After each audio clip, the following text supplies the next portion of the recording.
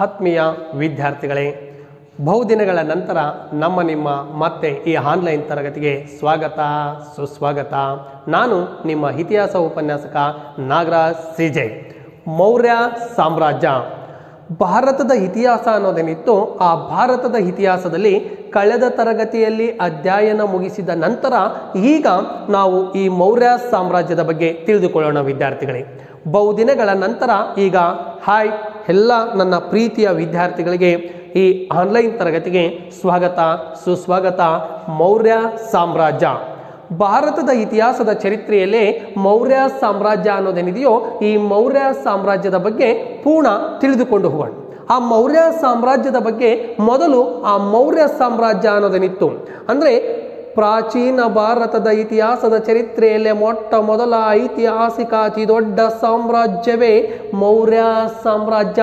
ಅಂದರೆ ಇಡೀ ಭಾರತದ ಇತಿಹಾಸದ ಚರಿತ್ರೆಯಲ್ಲೇ ಭಾರತದ ಮೊಟ್ಟ ಮೊದಲ ಸಾಮ್ರಾಜ್ಯ ಮತ್ತು ಐತಿಹಾಸಿಕ ಸಾಮ್ರಾಜ್ಯ ಮತ್ತು ಅತಿ ದೊಡ್ಡ ಸಾಮ್ರಾಜ್ಯ ಅಂತ ಕರಿತೀವಿ. ಯಾವ ಸಾಮ್ರಾಜ್ಯವನ್ನ ಅನ್ನೋದಾದ್ರೆ ಮೌರ್ಯ ಸಾಮ್ರಾಜ್ಯವನ್ನ. ಈ ದಿನ ನಾವು ಈ ಮೌರ್ಯ ಸಾಮ್ರಾಜ್ಯದ ಬಗ್ಗೆ ತಿಳಿದುಕೊಳ್ಳೋಣ. ಹಾಗಾದ್ರೆ ಮೌರ್ಯ ಸಾಮ್ರಾಜ್ಯದಲ್ಲಿ ಈ ದಿನ ನಾವು ಅಧ್ಯಯನ ಮಾಡುವಂತ ಅಂಶಗಳು ವಿದ್ಯಾರ್ಥಿಗಳೇ. ಒಂದು ಪೀಠಿಕೆ ಇಂಟ್ರೊಡಕ್ಷನ್ ಎರಡು ಆ ಮೂಲ. ಅಂದರೆ ಮೌರ್ಯರು ಅಂತ ಹ್ಯಾಕ್ ಕರೆದ್ರು. ಮೂರು ಆಧಾರಗಳು.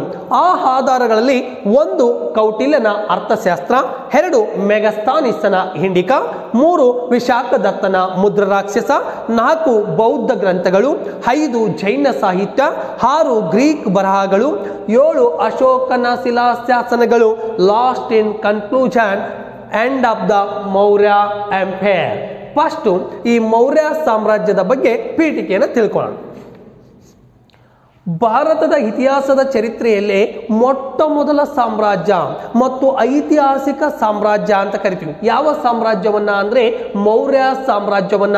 ಯಾಕ ಭಾರತದ ಇತಿಹಾಸದ ಚರಿತ್ರೆಯಲ್ಲೇ ಭಾರತದ ಪ್ರಪ್ರಥಮ ಸಾಮ್ರಾಜ್ಯ ಅಂತ ಈ ಮೌರ್ಯ ಸಾಮ್ರಾಜ್ಯವನ್ನ ಕರೆದ್ವಿ ಅನ್ನೋದಾದ್ರೆ ವಾಯುವ್ಯ ಭಾರತದಲ್ಲಿರ್ತಕ್ಕಂಥ ಭಾರತದ ರಾಜಕೀಯ ವ್ಯವಸ್ಥೆಗಳೇನಿದ್ವಲ್ಲ, ಆ ಚಿಕ್ಕ ಪುಟ್ಟ ಆಗಲೇ ಇರ್ತಕ್ಕಂಥ ಸಂಸ್ಥಾನಗಳನ್ನು, ಅಂದ್ರೆ ಏಕೀಕೃತ ಆಡಳಿತದ ಪದ್ಧತಿಯನ್ನ ಮೊಟ್ಟ ಮೊದಲ ಬಾರಿಗೆ ಐತಿ, ಐತಿಹಾಸಿಕ ಏಕೀಕೃತ ಆಡಳಿತ ಪದ್ಧತಿಯನ್ನ ಜಾರಿಗೆ ತಂದ ಮನೆತನ ಅನ್ನೋದಾದ್ರೆ ಅದು ಮೌರ್ಯ ಸಾಮ್ರಾಜ್ಯವಾಗಿತ್ತು. ಹಂಗಾಗಿ ಮೌರ್ಯ ಸಾಮ್ರಾಜ್ಯವನ್ನ ಒಂದು ಐತಿಹಾಸಿಕ ಸಾಮ್ರಾಜ್ಯ ಅಂತ ಕರೆದ್ವಿ. ಮತ್ತೊಂದು ಬೃಹದಾಕಾರದ ದೊಡ್ಡ ಸಾಮ್ರಾಜ್ಯ ಅಂತಲೂ ಕೂಡ ಕರೆದ್ವಿ. ಯಾವುದನ್ನ ಅನ್ನೋದಾದ್ರೆ ಮೌರ್ಯ ಸಾಮ್ರಾಜ್ಯವನ್ನ. ಯಾಕೆ ಈ ಮೌರ್ಯ ಸಾಮ್ರಾಜ್ಯವನ್ನ ಭಾರತದ ಪ್ರಥಮ ಮತ್ತು ಅತಿ ದೊಡ್ಡ ಸಾಮ್ರಾಜ್ಯ ಅಂತ ಕರೆದ್ವಿ ಅಂದ್ರೆ ಕ್ರಿಸ್ತ ಪೂರ್ವ ಕಾಲಘಟ್ಟದ ವೇಳೆಗಾಗಲೇ ಭಾರತದಲ್ಲಿ ಆಡಳಿತದ ಪದ್ಧತಿ, ರಾಜ, ಮಂತ್ರಿಗಳು, ಸೈನಿಕರ ವ್ಯವಸ್ಥೆ ಇತ್ತಲ್ಲ. ಅವುಗಳನ್ನ ಪರಿಚಯವನ್ನ ಕೊಟ್ಟಂತ ಸಾಮ್ರಾಜ್ಯ ಈ ಮೌರ್ಯ ಸಾಮ್ರಾಜ್ಯವಾಗಿತ್ತು. ಇಡೀ ಭಾರತದ ಭೂಪಟದ ಮುಕ್ಕಾಲು ಭಾಗ ವ್ಯಾಪರಿಸಿರ್ತಕ್ಕಂಥ ಕೇವಲ ಏಕ ಆಡಳಿತಕ್ಕೆ, ಒಂದೇ ಒಂದು ಆಡಳಿತಕ್ಕೆ ತಂದಂಥ ಸಾಮ್ರಾಜ್ಯ ಮೌರ್ಯ ಸಾಮ್ರಾಜ್ಯವಾಗಿತ್ತು. ಹಂಗಾಗಿ ಇದನ್ನು ಪ್ರಾಚೀನ ಸಾಮ್ರಾಜ್ಯ, ಐತಿಹಾಸಿಕ ಸಾಮ್ರಾಜ್ಯ, ಮತ್ತೊಂದು ಕಡೆ ರಾಜ ಮಂತ್ರಿಗಳು ಆಗಲೇ ಇರ್ತಕ್ಕಂಥ ಸರ್ಕಾರದ ವಿವಿಧ ಇಲಾಖೆಗಳು, ಮತ್ತೊಂದು ಕಡೆ ಆಗಲೇ ಇರ್ತಕ್ಕಂಥ ವಿದೇಶಾಂಗ ರಾಯಭಾರತ್ವಾನದೇನಿತ್ತು ಅವೆಲ್ಲವುಗಳನ್ನು ಕ್ರೋಢೀಕರಿಸಿ ಮೊಟ್ಟ ಮೊದಲು ಒಂದು ಏಕರೂಪದ ಆಡಳಿತದ ಪದ್ಧತಿಯನ್ನು ಜಾರಿಗೆ ತಂದಂಥ ಸಾಮ್ರಾಜ್ಯ ಮೌರ್ಯ ಸಾಮ್ರಾಜ್ಯವಾಗಿತ್ತು. ಇಂಥ ಮೌರ್ಯ ಸಾಮ್ರಾಜ್ಯದ ಸ್ಥಾಪನೆಯ ಸಂದರ್ಭದಲ್ಲಿ ವಾಯುವ್ಯ ಭಾಗದಲ್ಲಿರ್ತಕ್ಕಂಥ, ಅಂದ್ರೆ ಭಾರತದ ವಾಯುವ್ಯ ಭಾಗದಲ್ಲಿ ಆಗ್ನೇಯ ದಿಕ್ಕಿನಲ್ಲಿ ಬರುವಂತ ಅನೇಕ ದಾಳಿಗಳೇನಿತ್ತು. ಆ ದಾಳಿಗಳನ್ನು ಎದುರಿಸಿ ಏಕೀಕೃತವಾಗಿರ್ತಕ್ಕಂಥ ಕೇಂದ್ರೀಕೃತ ಆಡಳಿತ ಪದ್ಧತಿಯನ್ನು ರೂಪಿಸಿದಂತ ಸಾಮ್ರಾಜ್ಯ ಈ ಮೌರ್ಯ ಸಾಮ್ರಾಜ್ಯವಾಗಿತ್ತು. ಇಂಥ ಮೌರ್ಯ ಸಾಮ್ರಾಜ್ಯದ ಸ್ಥಾಪಕ ಚಂದ್ರಗುಪ್ತ ಮೌರ್ಯ ಎಂಬೋನು ಚಂದ್ರಗುಪ್ತ ಮೌರ್ಯ ಎಂಬೋನು ಈ ವಂಶದ ಸ್ಥಾಪಕನಾಗಿದ್ದ ಇದರ ರಾಜಧಾನಿ ಬಿಹಾರಿನ ಪಾಟಲಿಪುತ್ರ ಎಂಬುದಾಗಿತ್ತು. ಆ ಬಿಹಾರಿನ ಪಾಟಲಿಪುತ್ರ ಇದರ ರಾಜಧಾನಿಯಾಗಿತ್ತು. ಇದರ ಸ್ಥಾಪಕ ಚಂದ್ರಗುಪ್ತ ಮೌರ್ಯ, ಇದರ ರಾಜ್ಯ ಲಾಂಛನ ಧರ್ಮಚಕ್ರ ಎಂಬುದಾಗಿತ್ತು. ಅಂದ್ರೆ ಬಿಹಾರಿನ ಪಾಟಲಿಪುತ್ರ ಇವರ ರಾಜಧಾನಿ, ಈ ವಂಶದ ಸ್ಥಾಪಕ ಚಂದ್ರಗುಪ್ತ ಮೌರ್ಯ, ಇವರ ರಾಜ್ಯ ಲಾಂಛನ ಧರ್ಮಚಕ್ರ ಎಂಬುದಾಗಿತ್ತು. ಇಷ್ಟು ಈ ಮೌರ್ಯರ ಬಗ್ಗಿರ್ತಕ್ಕಂಥ ಒಂದು ಪೀಠಿಕೆ. ನೆಕ್ಸ್ಟ್ ಅಂಶವೇ ಮೂಲ. ಮೌರ್ಯರ ಇತಿಹಾಸದ ಬಗ್ಗೆ ತಿಳಿದುಕೊಳ್ಳಲು ಬಹುಮುಖ್ಯವಾಗಿರ್ತಕ್ಕಂಥ ಅಂಶ ವಿದ್ಯಾರ್ಥಿಗಳೇ, ಮೂಲ. ಅಂದ್ರೆ ಯಾವುದರ ಮೂಲ? ಮೌರ್ಯರು ಅಂತ ಯಾಕೆ ಕರೆದ್ರು? ಮೌರ್ಯ ಅಂತ ಬರಲಿಕ್ಕೆ ಬಹುಮುಖ್ಯವಾಗಿರ್ತಕ್ಕಂಥ ಕಾರಣಗಳೇನು? ಅಂದರೆ ಮೌರ್ಯರ ಬಗ್ಗೆ ತಿಳಿದುಕೊಳ್ಳಲಿರುವ ಪ್ರಮುಖ ಲಿಖಿತ, ಮತ್ತೊಂದು ಕಡೆಗೆ ಆಗಲಿ ಇರ್ತಕ್ಕಂಥ ಅಲಕಿತ ಆಧಾರಗಳು. ಅಂದ್ರೆ ಅಲ್ಲಿ ಸಿಕ್ಕಂಥ ಜೀವಂತ ಸಾಕ್ಷ್ಯಾಧಾರಗಳ ಮೇಲೆ ಯಾಕೆ ಇವರನ್ನು ಮೌರ್ಯ ಅನ್ನೋ ಹೆಸರು ಬಂತು ಅನ್ನೋದಕ್ಕೆ ಇವರು ಮೂಲವನ್ನ ನೋಡೋದಾದ್ರೆ, ಎಲ್ಲಿಂದ ಬಂದವರು ಮೂಲತಃ ಮೌರ್ಯ ಸಾಮ್ರಾಜ್ಯದ ಸ್ಥಾಪಕರು ಅನ್ನೋದಾದ್ರೆ ನಾಲ್ಕು ಅಂಶಗಳನ್ನು ನೋಡ್ಬೋದು.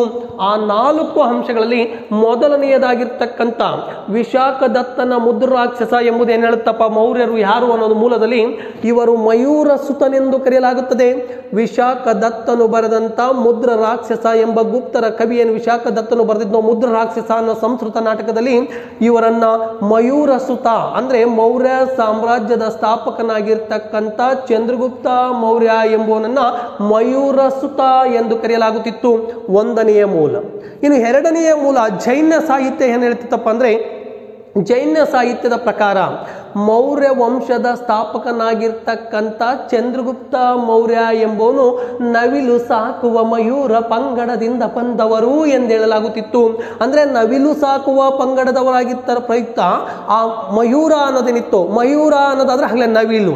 ಆ ನವಿಲು ಸಾಕುವ ಪಂಗಡದಿಂದ ಈ ವಂಶದವನು ಬಂದಿದ್ದರ ಪ್ರಯುಕ್ತ ಇವರಿಗೆ ಮೌರ್ಯ ಎಂದು ಕರೆಯಲಾಗಿತ್ತು ಅಂತ ಹೇಳಿ ಜೈನ ಸಂಪ್ರದಾಯ ಹೇಳ್ತೀವಿ ಮತ್ತೊಂದು ಕಡೆಗಾಗಲೇ ಇರ್ತಕ್ಕಂಥ ಹಿಂದೂ ಸಂಪ್ರದಾಯ ಏನು ಹೇಳುತ್ತಪ್ಪ ಅನ್ನೋದಾದ್ರೆ ಹಿಂದೂ ಧರ್ಮದ ಪ್ರಕಾರ, ಆ ಹಿಂದೂ ಧರ್ಮದ ಮೂಲವನ್ನು ನೋಡೋದಾದ್ರೆ, ಆ ಹಿಂದೂ ಧರ್ಮದ ಸಂಪ್ರದಾಯವನ್ನು ನೋಡೋದಾದ್ರೆ ಅವರೊಂದು ಹೇಳಿಕೆಯನ್ನು ಕೊಟ್ಟರು ನಂದರ ದೊರೆಯಾಗಿರ್ತಕ್ಕಂಥ ಧನನಂದ ಎಂಬುವನ ವೇಶ್ಯೆಯಾಗಿರ್ತಕ್ಕಂಥ ಮುರ ಎಂಬುವಳಿಗೆ.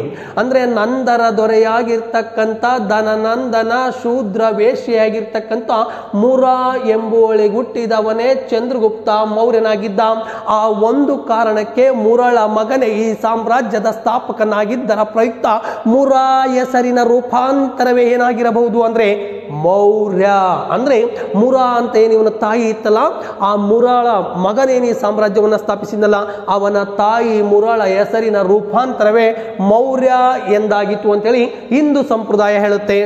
ಮತ್ತೊಂದು ನಾಲ್ಕನೇದು ಬೌದ್ಧ ಸಂಪ್ರದಾಯ ಅಥವಾ ಬೌದ್ಧ ಧರ್ಮ ಹೇಳುತ್ತೆ ಅಂದರೆ ಮೌರ್ಯ ಸಾಮ್ರಾಜ್ಯದ ಸ್ಥಾಪಕನಾಗಿರ್ತಕ್ಕಂಥ ಚಂದ್ರಗುಪ್ತ ಮೌರ್ಯ ಎಂಬುವನಿದ್ದು ಈತ ಪಿಪ್ಪಲಿ ವನದ ನವಿಲು ಸಾಕುವ ಪಂಗಡಕ್ಕೆ, ಅಂದರೆ ಪಿಪ್ಪಲಿ ವನದಲ್ಲಿ ಬರ್ತಕ್ಕಂಥ ಮೋರಿಯಸ್ ಎಂಬ ಪಂಗಡಕ್ಕೆ ಸೇರಿದವನು. ಯಾವಾಗ ಪಿಪ್ಪಲಿ ವನದ ಮೋರಿಯಸ್ ಪಂಗಡಕ್ಕೆ ಸೇರಿದವನೇ ಈ ವಂಶದ ಮೂಲ ಪುರುಷನಾಗಿದ್ದ. ಆ ಮೋರಿಯಸ್ ಅನ್ನದೇನಿತ್ತೋ ಅದು ಮುಂದೆ ಮೌರ್ಯ ಎಂದಾಗಿದೆ ಅಂತೇಳಿ ಬೌದ್ಧ ಸಾಹಿತ್ಯ ಅನ್ನೋದು ಹೇಳುತ್ತೆ. ಅಂದರೆ ಬೌದ್ಧ ಬೌದ್ಧ ಸಾಹಿತ್ಯ ಅನ್ನೋದು ಹೇಳುತ್ತೆ. ಮೌರ್ಯ ಅಂತ ಹೆಸರು ಬರಲು ಕಾರಣ ನಾಲ್ಕು ಅಂಶಗಳು ಅಂತ ಏನು ಕರೆದ್ವು ಈ ನಾಲ್ಕು ಅಂಶಗಳಲ್ಲಿ ಮೊದಲು ವಿಶಾಖದತ್ತನ ಮುದ್ರ ರಾಕ್ಷಸ. ಏನು ಹೇಳಿದಪ್ಪ ಅನ್ನೋದಾದ್ರೆ ವಿಶಾಖದತ್ತನ ಮುದ್ರ ರಾಕ್ಷಸ? ಇವನನ್ನ ಮಯೂರ ಸುತ ಎಂದು ಕರೆಯಲಾಗಿತ್ತು. ಅಂದ್ರೆ ವಿಶಾಖದತ್ತನ ಮುದ್ರ ರಾಕ್ಷಸದಲ್ಲಿ ಮೌರ್ಯ ಸಾಮ್ರಾಜ್ಯದ ಸ್ಥಾಪಕನಾಗಿರುವ ಚಂದ್ರಗುಪ್ತ ಮೌರ್ಯ ಮಯೂರ ಸುತ ಅಂದ್ರೆ ನವಿಲು ಸಾಕುವ ಪಂಗಡಕ್ಕೆ ಸೇರಿದವನು. ಹಂಗಾಗಿ ಮಯೂರ ಅನ್ನೋದೇನಿತ್ತು ಮೌರ್ಯ ಆಯಿತು ಅಂತ ಹೇಳಿ ಎರಡಾಗಲೇ ಇರ್ತಕ್ಕಂಥ ವಿಶಾಖದತ್ತನ ಆದ ನಂತರ ಜೈನ ಸಾಹಿತ್ಯ. ನಿಮಗೆ ಗೊತ್ತಿರ್ಬೋದು ಆ ಜೈನ ಸಾಹಿತ್ಯ, ಜೈನ ಬರಹಗಳು ಏನಿದ್ರಪ್ಪ ಅಂದರೆ ಈತ ಉತ್ತರ ದಿಕ್ಕಿನಲ್ಲಿ ಬರುವಂಥ ನವಿಲು ಸಾಕುವ ಮಯೂರ ಪಂಗಡಕ್ಕೆ ಸೇರಿದವನು. ಹಂಗಾಗಿ ಇವನಿಗೆ ಆ ಮಯೂರ ಅನ್ನೋ ನವಿಲೇನಿತ್ತು. ಮುಂದೆ ಮೌರ್ಯ ಎಂದಾಯಿತು. ಇನ್ನು ಮೂರನೇದು ಹಿಂದೂ ಸಂಪ್ರದಾಯ. ಆ ಹಿಂದೂ ಸಂಪ್ರದಾಯ ನಾವೀಗಾಗಲೇ ಹೇಳಿದ್ವಿ. ಹಿಂದೂ ಸಂಪ್ರದಾಯದ ಪ್ರಕಾರ ಏನು ಹೇಳಿದ್ರಪ್ಪ ಅಂದ್ರೆ ನಂದರ ದೊರೆಯಾಗಿರ್ತಕ್ಕಂಥ ಧನನಂದ ಎಂಬುವನಿಗೆ ಒಬ್ಬ ಶೂದ್ರ ವೇಶ್ಯೆಯಾಗಿರ್ತಕ್ಕಂಥ ಮುರ ಎಂಬುವಳ ಮಗನೇ ಈ ವಂಶದ ಸ್ಥಾಪಕ ಚಂದ್ರಗುಪ್ತ ಮೌರ್ಯ. ಹಂಗಾಗಿ ಅವನ ತಾಯಿ ಮುರಾ ಹೆಸರಿನ ರೂಪಾಂತರವೇ ಈ ಮನೆತನಕ್ಕೆ ಮೌರ್ಯ ಎಂದು ಹೆಸರು ಬರಲು ಕಾರಣವಾಗಿತ್ತು. ಆದರೆ ನಾಲ್ಕನೇದು ಇದೆಯಲ್ಲ ಬೌದ್ಧ ಸಾಹಿತ್ಯ. ಆ ಬೌದ್ಧ ಸಾಹಿತ್ಯದ ಕೃತಿಗಳಾಗಿರ್ತಕ್ಕಂಥ ದೀಪವಂಶ, ಮಹಾವಂಶ, ಸಿಲೋನಿನ ಗ್ರಂಥಗಳೇನಿದ್ವು ವಿದ್ಯಾರ್ಥಿಗಳೇ, ಆ ದೀಪವಂಶ, ಮಹಾವಂಶದಲ್ಲಿ ಏನು ಹೇಳಲಾಗಿದೆ ಅಂದ್ರೆ ಈತ ದಕ್ಷಿಣ ದಿಕ್ಕಿನಲ್ಲಿ ಬರ್ತಕ್ಕಂಥ ಕ್ಷತ್ರಿಯ ಪಂಗಡಕ್ಕೆ ಮೋರಿಯಸ್ ಎಂಬ ಕ್ಷತ್ರಿಯ ಪಂಗಡಕ್ಕೆ ಸೇರಿದವನು ಈ ವಂಶದ ಮೂಲ ಪುರುಷನಾಗಿದ್ದ ಪಿಪ್ಪಲಿ ವನದ ಮೋರಿಯಸ್ ಪಂಗಡಕ್ಕೆ ಸೇರಿದವನು ಈ ವಂಶದ ಮೂಲ ಪುರುಷನಾಗಿದ್ದ.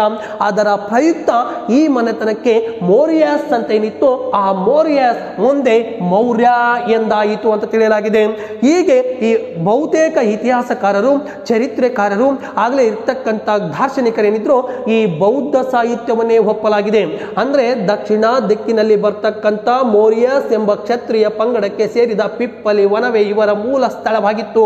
ಆ ಮೌರ್ಯಸ್ ಪಂಗಡದ ಈ ಮೂಲ ಪುರುಷ ಆಗಿದ್ದ ಚಂದ್ರಗುಪ್ತ ಮೌರ್ಯ, ಹಂಗಾಗಿ ಮನೆತನಕ್ಕೆ ಮೌರ್ಯ ಅಂತ ಬಂತು ಅಂತ ಹೇಳಲಾಗಿದೆ. ಇಷ್ಟು ಇದರ ಮೂಲ.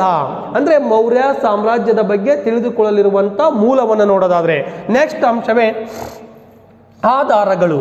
ಏನು ಆಧಾರಗಳು ಅಂದರೆ ನಾವು ಈಗಾಗಲೇ ಹೇಳಿದ್ವಿ. ಯಾವುದೇ ವಿಷಯವನ್ನು ತಿಳಿಯಬೇಕಾದರೂ, ಯಾವುದರ ಬಗ್ಗೆ ನಾವು ತಿಳಿದುಕೊಳ್ಳಬೇಕಾದರೂ ಆಧಾರಗಳು ಅತ್ಯವಶ್ಯಕವಾಗಿ ಬೇಕು. ಆಧಾರಗಳಿಲ್ಲದ ಇತಿಹಾಸ ಅದು ಇತಿಹಾಸವೇ ಅಲ್ಲ.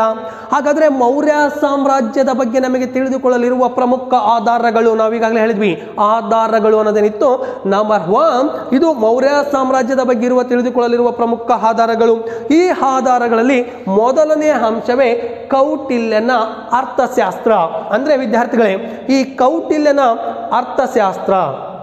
ಕೌಟಿಲ್ಯನ ಅರ್ಥಶಾಸ್ತ್ರ ಮೌರ್ಯರ ಬಗ್ಗೆ ತಿಳಿದುಕೊಳ್ಳಲಿರುವ ಪ್ರಮುಖ ಆಧಾರಗಳಲ್ಲಿ ಒಂದಾಗಿತ್ತು. ಹಾಗಾದ್ರೆ ಮೊದಲು ಈ ಕೌಟಿಲ್ಯ ಯಾರು? ಈ ಕೌಟಿಲ್ಯ ಯಾರು ಅಂತ ತಿಳ್ಕೊಬೇಕಲ್ಲ ನಾವು? ಈ ಕೌಟಿಲ್ಯ ಎಂಬುವನಿದ್ನು ಈ ಕೌಟಿಲ್ಯನನ್ನ ಚಾಣುಕ್ಯ ಅಂತ ಕರೆದ್ವಿ, ವಿಷ್ಣುಗುಪ್ತ ಅಂತ ಕರೆದ್ವಿ. ಯಾಕೆ ಈ ಕೌಟಿಲ್ಯ ಈ ಮೌರ್ಯ ಸಾಮ್ರಾಜ್ಯದ ಸ್ಥಾಪನೆಗೆ ಮೂಲ ಪ್ರೇರಣೀಕರ್ತ? ಮೊದಲು ನೋಡ್ಬೇಕು. ಆ ಮೌರ್ಯ ಸಾಮ್ರಾಜ್ಯದ ಸ್ಥಾಪನೆಗೂ ಮುನ್ನ ಭಾರತದಲ್ಲಿರ್ತಕ್ಕಂಥ ನಂದರ ಸಾಮ್ರಾಜ್ಯ ಅನ್ನೋದೇನಿತ್ತು ಆ ನಂದರ ದೊರೆಯಾಗಿರ್ತಕ್ಕಂಥ ಧನನಂದ ಎಂಬುವನ ಆಸ್ಥಾನದಲ್ಲಿ. ಅಂದರೆ ನಂದರ ದೊರೆಯಾಗಿರ್ತಕ್ಕಂಥ ಧನನಂದ ಎಂಬುವನ ಆಸ್ಥಾನದಲ್ಲಿ ಕೌಟಿಲ್ಯ ಕೋಶಾಧ್ಯಕ್ಷನಾಗಿದ್ದ ಅಥವಾ ಗೋ ಅಧ್ಯಕ್ಷನಾಗಿದ್ದ ಯಾವಾಗ ಈ ಕೌಟಿಲ್ಯ ನಂದರ ದೊರೆಯಾಗಿರ್ತಕ್ಕಂಥ ನಂದ ಸಾಮ್ರಾಜ್ಯದಲ್ಲಿ ದ, ಧನನಂದನ ಅಧೀನದಲ್ಲಿ ಕೋಶಾಧ್ಯಕ್ಷನಾಗಿ ಕಾರ್ಯನಿರ್ವಹಿಸ್ತಿದ್ನು. ಆಗ ನಂದರ ದೊರೆ ಧನನಂದ ಎಂಬುವನನ್ನ ಒಮ್ಮೆ ಕೌಟಿಲ್ಯನನ್ನ ಆಗಲೇ ಇರ್ತಕ್ಕಂಥ ಆ ಅಧ್ಯಕ್ಷ ಸ್ಥಾನದಿಂದ ಕಿತ್ತು ಆ ರಾಜ ಊಟ ಮಾಡುವಾಗ, ಅಂದರೆ ನಂದರ ದೊರೆ ಧನನಂದ ಎಂಬುವನು ಊಟಕ್ಕೆ ಕುಂತಾಗ ಕೌಟಿಲ್ಯ ಕೂಡ ಊಟಕ್ಕೆ ಹೋಗ್ತಾನೆ. ಆಗ ರಾಜನ ಸರಿ ಸಮಾನವಾಗಿ ಕೂತು ಊಟ ಮಾಡುವ ಸ್ವಾತಂತ್ರ್ಯ ನಿನಗಿದೆಯೇ ಅಂತೇಳಿ ಕೌಟಿಲ್ಯನ ಕತ್ತಿಗೆ ಕೈ ಹಾಕಿ ಅವನ ಜಡಿ ಇರುತ್ತಲ್ಲ ಅದು ಕೈ ಹಾಕಿ ಹೊರಗೆ ಬಿಡ್ತಾನೆ ಯಾರನ್ನ? ಕೌಟಿಲ್ಯನನ್ನ ಯಾವಾಗ ಕೌಟಿಲ್ಯನನ್ನ ಹೊರದೆಬ್ಬಿಡ್ತಾನೋ ಆಗ್ಲೇ ಇರ್ತಕ್ಕಂಥ ಬ್ರಾಹ್ಮಣನಾಗಿರ್ತಕ್ಕಂಥ ಕೌಟಿಲ್ಯ ಅವತ್ತೇ ಒಂದು ಶಪಥವನ್ನ ಮಾಡ್ತಾನೆ.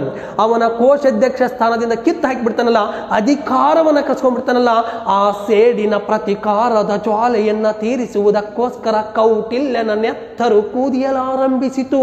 ಅಂದೇ ಕೌಟಿಲ್ಯ ಒಂದು ಶಪಥವನ್ನ ಮಾಡ್ತಾನೆ. ಏನಂದ್ರೆ ನಂದರ ವಂಶವನ್ನ ನಿರ್ಮೂಲನೆ ಮಾಡಿ ಅದೇ ನಂದರ ಸಿಂಹಾಸನದ ಅಡಿಪಾಯದ ಮೇಲೆ ಹೊಸ ಸಾಮ್ರಾಜ್ಯವನ್ನ ಅಥವಾ ಮಗದೊಂದು ಸಾಮ್ರಾಜ್ಯವನ್ನ ಕಟ್ಟುವವರೆಗೂ ನಂದರನ್ನ ನಿರ್ಮೂಲನೆ ಮಾಡುವುದವರೆಗೂ ಈ ಬಿಚ್ಚಿದ ಮುಡಿಯನ್ನು ಕಟ್ಟುವುದಿಲ್ಲ. ಅಂದ್ರೆ ನಂದರ ವಂಶವನ್ನ ನಿರ್ಮೂಲನೆ ಮಾಡುವವರೆಗೂ ಬಿಚ್ಚಿದ ಮುಡಿಯನ್ನು ಕಟ್ಟುವುದಿಲ್ಲ ಅಂತೇಳಿ ಆ ಕೌಟಿಲ್ಯ ಎಂಬುವನಿದ್ನಲ್ಲ ವಿದ್ಯಾರ್ಥಿಗಳೇ, ಈ ಕೌಟಿಲ್ಯ ಶಪಥವನ್ನು ಮಾಡಿದ. ಅದೇ ಕೌಟಿಲ್ಯ ಬರೆದಂತ ಕೃತಿ ಅರ್ಥಶಾಸ್ತ್ರ. ಇದನ್ನ ಕೌಟಿಲ್ಯನ ಅರ್ಥಶಾಸ್ತ್ರ ಅಂತ ಕರೆದ್ವಿ. ಮೌರ್ಯ ಸಾಮ್ರಾಜ್ಯದ ಬಗ್ಗೆ ತಿಳಿದುಕೊಳ್ಳಲಿರುವ ಪ್ರಮುಖ ಆಧಾರಗಳಲ್ಲಿ ಈ ಕೌಟಿಲ್ಯನ ಅರ್ಥಶಾಸ್ತ್ರ ಒಂದಾಗಿತ್ತು. ಈ ಕೌಟಿಲ್ಯನ ಅರ್ಥಶಾಸ್ತ್ರ ಸಂಸ್ಕೃತ ಭಾಷೆಯಲ್ಲಿದೆ. ಕೌಟಿಲ್ಯನ ಅರ್ಥಶಾಸ್ತ್ರ ಎನ್ನೋ ಕೃತಿ ಸಂಸ್ಕೃತ ಭಾಷೆಯಲ್ಲಿದೆ. ಹದಿನೈದು ಅಧ್ಯಯನಗಳನ್ನು ಒಳಗೊಂಡಿದೆ. ನೂರ ಎಂಟು ಉಪವಿಭಾಗಗಳನ್ನು ಒಳಗೊಂಡಿದೆ. ಆರು ಸಾವಿರ ಶ್ಲೋಕಗಳನ್ನು ಒಳಗೊಂಡಿದೆ. ಹದಿನೈದು ಆಗಲೇ ಇರ್ತಕ್ಕಂಥ ಅಧ್ಯಾಯಗಳು ನೂರ ಎಂಟು ಉಪವಿಭಾಗಗಳು ಆರು ಸಾವಿರ ಶ್ಲೋಕಗಳನ್ನು ಒಳಗೊಂಡಂತ ಕೌಟಿಲ್ಯನ ಕೃತಿ ಅನ್ನೋದೇನಿತ್ತು. ಇದೇ ಅರ್ಥಶಾಸ್ತ್ರ. ಇದನ್ನ ರಾಜನೀತಿ ಕೃತಿ, ರಾಜ ಮತ್ತು ಮಂತ್ರಿ ಮತ್ತು ಸರಕಾರಗಳು ಮತ್ತು ಜನಪದರು ಮತ್ತು ಸೈನಿಕರ ಬಗ್ಗೆ ತಿಳಿಸುವಂತ ಅತ್ಯಮೂಲ್ಯವಾಗಿರ್ತಕ್ಕಂಥ ಕೃತಿ. ಸಂಸ್ಕೃತ ಭಾಷೆಯಲ್ಲಿದೆ ನಾವು ಈಗಾಗಲೇ ಹೇಳಿದ್ವಿ. ಹದಿನೈದು ಅಧ್ಯಾಯಗಳು, ನೂರ ಎಂಟು ಉಪ ಅಧ್ಯಾಯಗಳು, ಆರು ಸಾವಿರ ಶ್ಲೋಕಗಳನ್ನು ಒಳಗೊಂಡಂತ ಸಂಸ್ಕೃತ ಭಾಷೆಯಲ್ಲಿರುವಂತ ಈ ಕೌಟಿಲ್ಯನ ಅರ್ಥಶಾಸ್ತ್ರ ಅನ್ನೋದೇನಿತ್ತು ಇದು ಆಗಲೇ ಹತ್ತೊಂಬತ್ ನೂರ ಒಂಬತ್ತರ ವೇಳೆಗೆ ಮೈಸೂರಿನ ಪ್ರಾಚ್ಯ ತಜ್ಞನಾಗಿರ್ತಕ್ಕಂಥ ಡಾಕ್ಟರ್ ಶ್ಯಾಮಶಾಸ್ತ್ರಿ ಎಂಬುವನು ಇದನ್ನು ಇಂಗ್ಲಿಷ್, ಇಂಗ್, ಆಂಗ್ಲ ಭಾಷೆಗೆ, ಇಂಗ್ಲಿಷ್, ಆಂಗ್ಲ ಭಾಷೆಗೆ ಅನುವಾದಿಸುವಂಥ ಪ್ರಯತ್ನವನ್ನ ಮಾಡಿದ ಈ ಒಂದು ಕೃತಿಯನ್ನ ಆಗಲೇ ರಾಜನೀತಿ ಶಾಸ್ತ್ರ ಅಂತ ಕರೆಯಲಾಗಿತ್ತು. ವಿದೇಶಾಂಗ, ರಾಜ ವ್ಯವಹಾರಗಳ ಬಗ್ಗೆ ಪೂರ್ಣವಾಗಿ ತಿಳಿಸುವಂಥ ಕೃತಿ ಕೌಟಿಲ್ಯನ ಅರ್ಥಶಾಸ್ತ್ರ ಎಂಬುದಾಗಿತ್ತು. ಈ ಕೌಟಿಲ್ಯನ ಅರ್ಥಶಾಸ್ತ್ರ ಅನ್ನೋದೇನಿತ್ತು ಇದು ಬಹುಮುಖ್ಯವಾಗಿರ್ತಕ್ಕಂಥ ಯುರೋಪಿನ ಸಾಹಿತ್ಯದಲ್ಲಿ ಬರುವಂತ ಮೆಕ್ಕಾವಲ್ಲಿಯ ಪ್ರಿನ್ಸ್ ಎಂಬ ಕೃತಿಗೆ. ಅಂದ್ರೆ ಮೆಕ್ಕಾವಲ್ಲಿ ಬರೆದಂತ ಯುರೋಪಿನ ಇತಿಹಾಸದಲ್ಲಿ ಪ್ರಿನ್ಸ್ ಅನ್ನೋ ಕೃತಿ ಏನಿತ್ತು? ಭಾರತದ ಅಪಾರವಾಗಿರ್ತಕ್ಕಂಥ ಸಾಹಿತ್ಯ ಗ್ರಂಥ ಭಂಡಾರದಲ್ಲಿ ಕೌಟಿಲ್ಯನ ಕೃತಿಯನ್ನ ಯುರೋಪಿನ ಮೆಕ್ಕಾವಲ್ಲಿಯ ಕೃತಿಗೆ ಹೋಲಿಸಲಾಗಿದೆ. ಇವನನ್ನ ಭಾರತದ ಮೆಕ್ಕಾವಲ್ಲಿ ಎಂದು ಕರೆಯಲಾಗುತ್ತದೆ ಕೌಟಿಲ್ಯನನ್ನ. ಈ ಕೌಟಿಲ್ಯನ ಈ ಕೃತಿ ಏನಿತ್ತು? ಇದರಲ್ಲಿ ಬಹುಮುಖ್ಯವಾಗಿರ್ತಕ್ಕಂಥ ಮೂರು ವಿಭಾಗಗಳನ್ನು ನೋಡ್ಬೋದು. ಒಂದು ರಾಜ, ಮಂತ್ರಿ, ಅಲ್ಲಿರ್ತಕ್ಕಂಥ ಆಗಲೇ ಈ ಉಳಿದ ಇಲಾಖೆಗಳು. ಎರಡನೇ ಅಂಶ, ಒಂದು ಸಿವಿಲ್ ಪ್ರಕರಣ, ಮತ್ತೊಂದು ಕ್ರಿಮಿನಲ್ ಪ್ರಕರಣ, ಮತ್ತೊಂದು ಅಪರಾಧಗಳು. ಅಂದರೆ ಈ ಕೃತಿ ಪ್ರಮುಖವಾಗಿರ್ತಕ್ಕಂಥ ಒಂದು ರಾಜ ಮತ್ತು ಮಂತ್ರಿ ವಿವಿಧ ಇಲಾಖೆಗಳು, ಎರಡು ಸಿವಿಲ್ ಮತ್ತು ಕ್ರಿಮಿನಲ್ ಪ್ರಕರಣಗಳು. ಮೂರನೇ ಅಂಶ, ಆಗಲೇ ಇರ್ತಕ್ಕಂಥ ವಿದೇಶಾಂಗ ಮತ್ತು ರಾಯಭಾರತ್ವ ಹೀಗೆ ಮೂರು ವಿಭಾಗಗಳನ್ನು ಒಳಗೊಂಡಂಥ ಕೃತಿ ಕೌಟಿಲ್ಯನದಾಗಿತ್ತು. ಇಂಥ ಕೌಟಿಲ್ಯನ ಅರ್ಥಶಾಸ್ತ್ರ ಅನ್ನೋದನ್ನಿತ್ತು ಬಹುಮುಖ್ಯವಾಗಿರ್ತಕ್ಕಂಥ ಇದನ್ನ ಮೆಕ್ಕಾವಲಿಯ ಕೃತಿಗೆ ಯಾಕೆ ಹೋಲಿಸಿದ್ರು ಅಂದ್ರೆ ರಾಜನಿಗೆ ಬೇಕಾಗಿರುವಂತಹ ಅರ್ಹತೆಗಳು, ರಾಜನಿಗಿರಬೇಕಾಗಿರ್ತಕ್ಕಂಥ ಕ್ವಾಲಿಟೀಸ್ ಗುಣಗಳು ಅಂತ ಏನಿದ್ವು ಆ ರಾಜನಿಗಿರಬೇಕಾಗಿರ್ತಕ್ಕಂಥ ಗುಣಗಳು ಮತ್ತು ಪ್ರಜೆಗಳು ಮತ್ತು ಅಲ್ಲಿರ್ತಕ್ಕಂಥ ಮಂತ್ರಿಗಳು, ಮಂತ್ರಿಗಳ ಕಾರ್ಯಗಳು, ಮತ್ತೊಂದು ಕಡೆ ಸೈನಿಕರು, ಕೋಟೆಗಳು, ಅವೆಲ್ಲವುಗಳನ್ನು ಸಪ್ತಾಂಗ ಸಿದ್ಧಾಂತವನ್ನು ಹೇಳಿದ ಕೌಟಿಲ್ಯ. ಆ ಕೌಟಿಲ್ಯನ ಅರ್ಥಶಾಸ್ತ್ರ ಗ್ರಂಥದಲ್ಲಿ ಸಪ್ತಾಂಗ ಸಿದ್ಧಾಂತ. ಏನಿದು ಸಪ್ತಾಂಗ ಸಿದ್ಧಾಂತ ಅಂದ್ರೆ ಒಂದು ರಾಜ, ಎರಡು ಮಂತ್ರಿ, ಮೂರು ಜನಪದ, ನಾಲ್ಕು ಕೋಶ, ಐದು ಕೋಟೆ, ಆರು ಬಲ, ಏಳು ಮಿತ್ರ. ಇವೇ ಕೌಟಿಲ್ಯನ ಏಳು ಸಪ್ತಾಂಗ ಸಿದ್ಧಾಂತಗಳು ವಿದ್ಯಾರ್ಥಿಗಳೇ. ರಾಜ, ಮಂತ್ರಿ, ಜನಪದ, ಕೋಶ, ಕೋಟೆ, ಬಲ, ಮಿತ್ರ, ಇವು ಏಳುಗಳು ಇರಬೇಕು. ಇವು ಏಳುಗಳು ಇದ್ದಾಗ ಮಾತ್ರ ರಾಜ್ಯ ಎಂಬ ರಥ ಸರಾಗವಾಗಿ ಎಳೆಯುವುದಕ್ಕೆ ಸಾಧ್ಯವಾಗುತ್ತದೆ. ಅಂದ್ರೆ ಈ ಏಳು ಅಂಗಗಳನ್ನೇ ಅರ್ಥಶಾಸ್ತ್ರದಲ್ಲಿ ಕೌಟಿಲ್ಯನ ಸಪ್ತಾಂಗ ಸಿದ್ಧಾಂತ ಅಂತ ಕರೆಯಲಾಗಿತ್ತು. ಈ ಸಪ್ತಾಂಗ ಸಿದ್ಧಾಂತ ಅನ್ನೋದೇನಿತ್ತು? ಇದು ಮೌರ್ಯರ ಬಗ್ಗೆ ತಿಳಿದುಕೊಳ್ಳಲಿರುವ ಪ್ರಮುಖ ಆಧಾರಗಳಲ್ಲಿ ಒಂದು ಕೌಟಿಲ್ಯನ ಅರ್ಥಶಾಸ್ತ್ರ. ಎರಡು ಮೆಗಸ್ತಾನಿಸನ ಇಂಡಿಕಾ. ಮೆಗಸ್ತಾನಿಸಿನ ಇಂಡಿಕಾ ಕೂಡ ಮೌರ್ಯ ಸಾಮ್ರಾಜ್ಯದ ಬಗ್ಗೆ ತಿಳಿದುಕೊಳ್ಳಲಿರುವ ಆಧಾರಗಳಲ್ಲಿ ಎರಡನೇ ಪ್ರಮುಖ ಆಧಾರವಾಗಿತ್ತು ಮೆಗಸ್ತಾನಿಸನ ಇಂಡಿಕಾ. ಈ ಮೆಗಸ್ತಾನಿಸ್ ಎಂಬುವನು ಯಾರು ಅಂದ್ರೆ ಗ್ರೀಕ್ ದೊರೆಯಾಗಿರ್ತಕ್ಕಂಥ ಸೆಲುಕಾಸ್ ಎಂಬುವನ ರಾಯಭಾರಿಯಾಗಿ ಭಾರತಕ್ಕೆ ಬಂದಂತವನೇ ಮೆಗಸ್ತಾನಿಸ್ ಗ್ರೀಕ್ ದೊರೆಯಾಗಿರ್ತಕ್ಕಂಥ ಸೆಲುಕಾಸ್ ಎಂಬುವನ ರಾಯಭಾರಿಯಾಗಿ ಕ್ರಿಸ್ತಪೂರ್ವ ಮುನ್ನೂರ ನಾಲ್ಕರಿಂದ ಇನ್ನೂರ ತೊಂಬತ್ತೊಂಬತ್ತರ ಕಾಲಘಟ್ಟಕ್ಕೆ ಭಾರತಕ್ಕೆ ಬಂದವನೇ ಮೆಗಸ್ತಾನಿಸ್ ಎಂಬುವನೇನಿದ್ದು ಈ ಮೆಗಸ್ತಾನಿಸ್. ಇವನು ಬರೆದಂಥ ಕೃತಿ ಇಂಡಿಕಾ. ಈ ಕೃತಿ ಮೌರ್ಯ ಸಾಮ್ರಾಜ್ಯದ ರಾಜಕೀಯ, ಸಾಮಾಜಿಕ, ಆರ್ಥಿಕ, ಧಾರ್ಮಿಕ ಮತ್ತು ಸೈನಿಕ ಮತ್ತು ವಿದೇಶಾಂಗ ರಾಯಭಾರತ್ವ ಅಂದಿನ ಆ ಸಾಮಾಜಿಕ, ಧಾರ್ಮಿಕ, ಆರ್ಥಿಕ ವಿದೇಶಾಂಗ ರಾಯಭಾರತ್ವದ ಬಗ್ಗೆ ತಿಳಿದುಕೊಳ್ಳಲಿರುವ ಪ್ರಮುಖ ಆಧಾರಗಳಲ್ಲಿ ಎರಡನೇ ಅಂಶವೇ ಮೆಗಸ್ತಾನಿಸನ ಹಿಂಡಿಕಾ ಈತ ಕ್ರಿಸ್ತ ಪೂರ್ವ ಮುನ್ನೂರ ತೊಂಬ, ಅಂದ್ರೆ ಮುನ್ನೂರ ನಾಲ್ಕರಿಂದ ಇನ್ನೂರ ತೊಂಬತ್ತೊಂಬತ್ತರವರೆಗೆ ಐದು ವರ್ಷಗಳ ಕಾಲ ಭಾರತದ ಮೌರ್ಯ ಸಾಮ್ರಾಜ್ಯದ ಚಂದ್ರಗುಪ್ತ ಮೌರ್ಯನ ಆಸ್ಥಾನದಲ್ಲಿದ್ದ. ಆಗ ಆ ಚಂದ್ರಗುಪ್ತ ಮೌರ್ಯನ ಆಸ್ಥಾನದಲ್ಲಿ ತಾ ಕಂಡಂತ ಆಡಳಿತದ ವ್ಯವಸ್ಥೆ, ಆರ್ಥಿಕ ವ್ಯವಸ್ಥೆ, ಸಾಮಾಜಿಕ ವ್ಯವಸ್ಥೆ, ಧಾರ್ಮಿಕ ವ್ಯವಸ್ಥೆ, ವಿದೇಶಾಂಗ ವ್ಯವಸ್ಥೆ ರಾಯಭಾರತ್ವಾನದಿತ್ತು ಇವೆಲ್ಲವುಗಳ ಬಗ್ಗೆ ಆತ ತಿಳಿಯಪಡಿಸಿದ. ಈ ಕೃತಿಯಲ್ಲಿ ಮೆಗಸ್ತಾನಿಸನು ಹೇಳಿದಂತೆ. ಏನಂದ್ರೆ ವಿಶಾಲವಾಗಿರ್ತಕ್ಕಂಥ ಪಾಟಲಿಪುತ್ರ ನಗರವು, ವಿಶಾಲವಾಗಿರ್ತಕ್ಕಂಥ ಪಾಟಲಿಪುತ್ರ ನಗರವು ಹದಿನಾಲ್ಕು ಕಿಲೋಮೀಟರ್ ಉದ್ದ, ಮೂರು ಕಿಲೋಮೀಟರ್ ಅಗಲವನ್ನು ಹೊಂದಿತ್ತು. ಅದರ ಐದು ನೂರ ಅರವತ್ತು ಗೋಪುರಗಳು, ಅಂದರೆ ಅರವತ್ನಾಲ್ಕು ಪ್ರವೇಶ ದ್ವಾರಗಳಿದ್ದು ಪಾಟಲಿಪುತ್ರ ಅನ್ನೋ ನಗರಕ್ಕೆ ಈ ಮೆಗಸ್ತಾನಿಸನ ಇಂಡಿಕದಲ್ಲಿ ವರ್ಣನೆ ಮಾಡ್ತಾನೆ. ಹದಿನಾಲ್ಕು ಕಿಲೋಮೀಟರ್ ಉದ್ದ, ಮೂರು ಕಿಲೋಮೀಟರ್ ಅಗಲವನ್ನು ಹೊಂದಿದ ಪಾಟಲಿಪುತ್ರ ಒಂದು ಭವ್ಯವಾಗಿರ್ತಕ್ಕಂಥ ನಗರವಾಗಿತ್ತು. ಅರವತ್ನಾಲ್ಕು ಪ್ರವೇಶ ದ್ವಾರಗಳನ್ನ ಪಾಟಲಿಪುತ್ರದ ಕೋಟೆಯಲ್ಲಿ ಕಾಣಬಹುದಾಗಿತ್ತು. ಐನೂರ ಎಪ್ಪತ್ತು ಗೋಪುರಗಳನ್ನು ನಿರ್ಮಿಸಲಾಗಿತ್ತು. ಪಾಟಲಿಪುತ್ರ ಒಂದು ಭವ್ಯ ನಗರವಾಗಿತ್ತು. ಮೌರ್ಯ ಸಾಮ್ರಾಜ್ಯದ ಚಂದ್ರಗುಪ್ತ ಮೌರ್ಯನ ಅರಮನೆ ಪರ್ಷಿಯನ್ ಮಾದರಿಯಲ್ಲಿ ಅಲಂಕರಿಸಲಾಗಿತ್ತು. ಅಂದ್ರೆ ಮರದ ಕಟ್ಟಿಗೆಗಳಿಂದ ಪರ್ಷಿಯನ್ ಮಾದರಿಯಲ್ಲಿ ಅಲಂಕರಿಸಲಾಗಿತ್ತು ಚಂದ್ರಗುಪ್ತ ಮೌರ್ಯನ ಅರಮನೆಯನ್ನ. ಅರಮನೆಯ ಕಂಬಗಳಿಗೆ ಬಂಗಾರದ ಮುಲಾಮುಗಳಿಂದ ಲೇಪನ ಮಾಡಲಾಗುತ್ತಿತ್ತು. ಕಾಣುತ್ತಿತ್ತು ನೋಡುಗರಿಗೆ ಆಕರ್ಷಣೀಯ ಕೇಂದ್ರವಾಗಿತ್ತು ಆ ಚಂದ್ರಗುಪ್ತ ಮೌರ್ಯನ ಅರಮನೆ. ಮತ್ತೊಂದು ಕಡೆಯ ಅರಮನೆಯ ಎರಡೂ ಭಾಗದ, ಎರಡೂ ಕಡೆಯೂ ಕೂಡ ಆಗಲೇ ಹೂ ತೋಟಗಳನ್ನು ನಿರ್ಮಿಸಲಾಗಿತ್ತು. ಅರಮನೆಯ ಮುಂಭಾಗದಲ್ಲಿ ಸಾರ್ವಜ, ಹೆಂಗ ಈಜುಕೊಳ ಅನ್ನೋದೇನಿತ್ತು?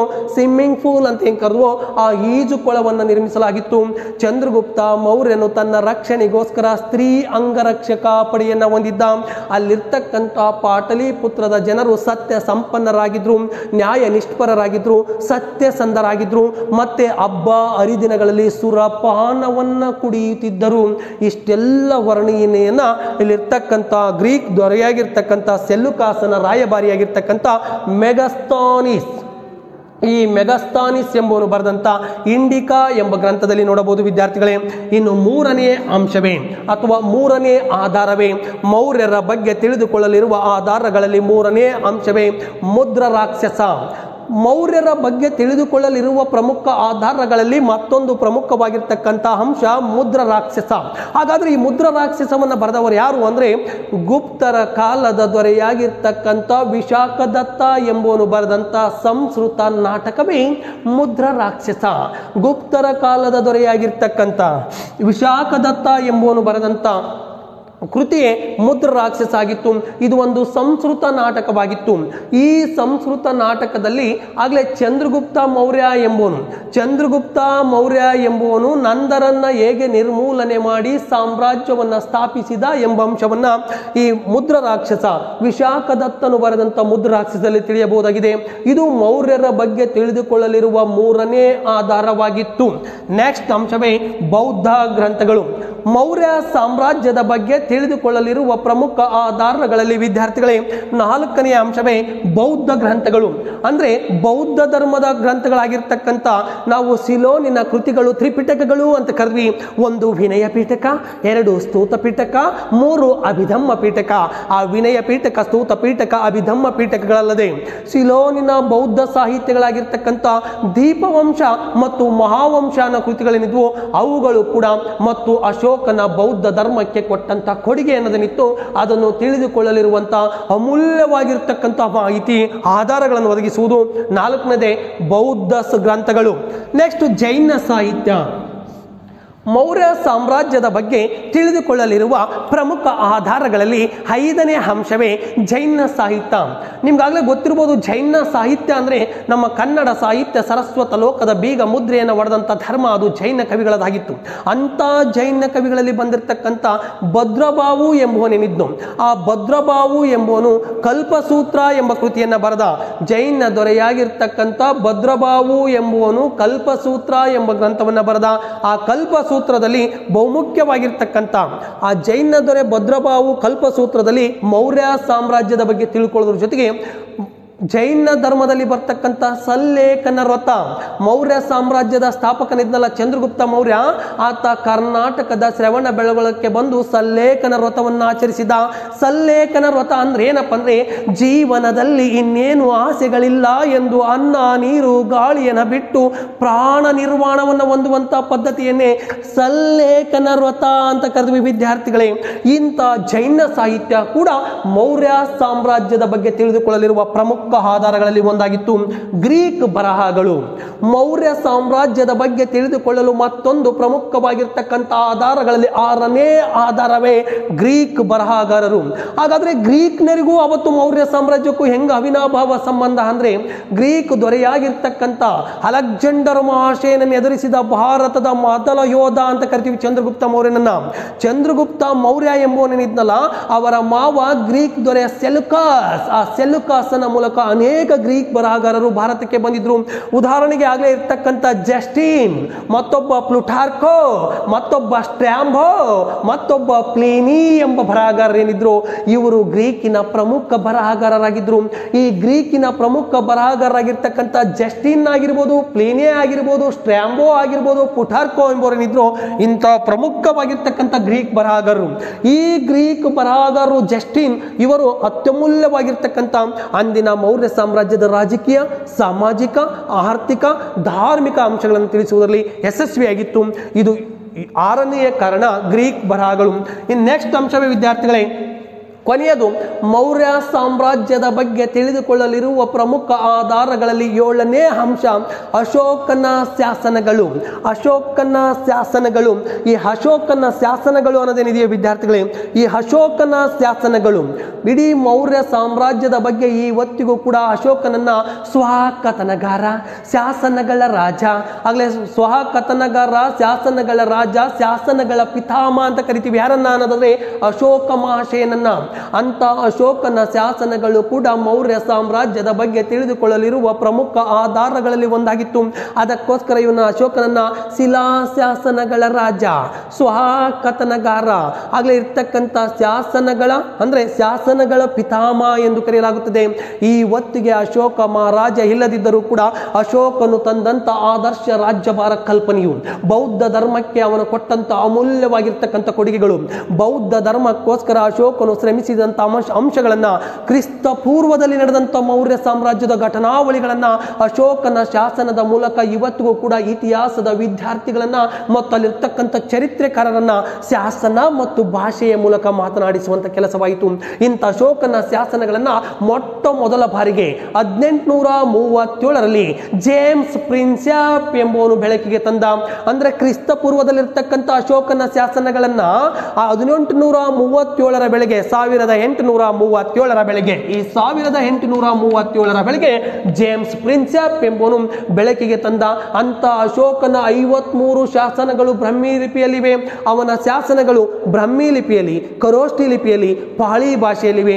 ಅಂತ ಅಶೋಕನ ಶಾಸನಗಳನ್ನ ಅಧ್ಯಯನದ ಅನುಕೂಲಕ್ಕೋಸ್ಕರ ಕೆಲವು ವಿಭಾಗಗಳನ್ನ ಮಾಡಲಾಗಿದೆ.